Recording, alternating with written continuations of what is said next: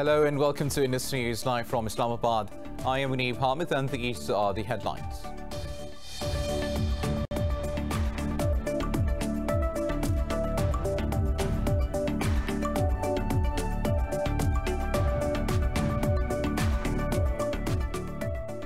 Chairman of Afghanistan's High Council for National Reconciliation, Abdullah Abdullah says he agrees with the Taliban that there should be no foreigners in the room during intra-Afghan negotiations. However, he said foreigners' assistance would possibly be needed at a later stage. At a press conference in Doha, Abdullah said he's sure both sides will discuss ceasefire in negotiations, proposing reduction in violence initially.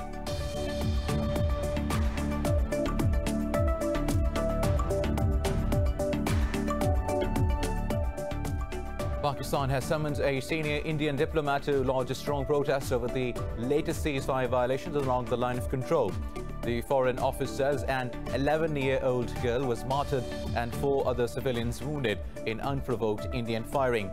Earlier, the Pakistani military's media wing said Indian forces targeted civilian population with heavy mortars in Hot Spring and Rakhchikri sectors, which was responded effectively.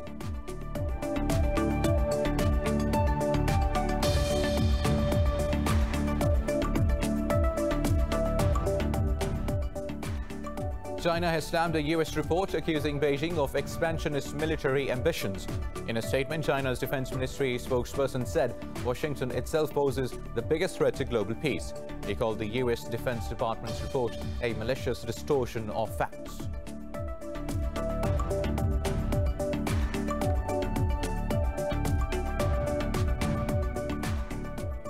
In India, the number of coronavirus cases has topped 4.7 million, with over 94,000 infections and 1,114 deaths overnight. In Pakistan, six people lost their lives to the virus overnight, taking the tally to 6,379, with over 301,000 infections. Globally, the virus has claimed over 920,000 lives and infected more than 28.7 million people so far.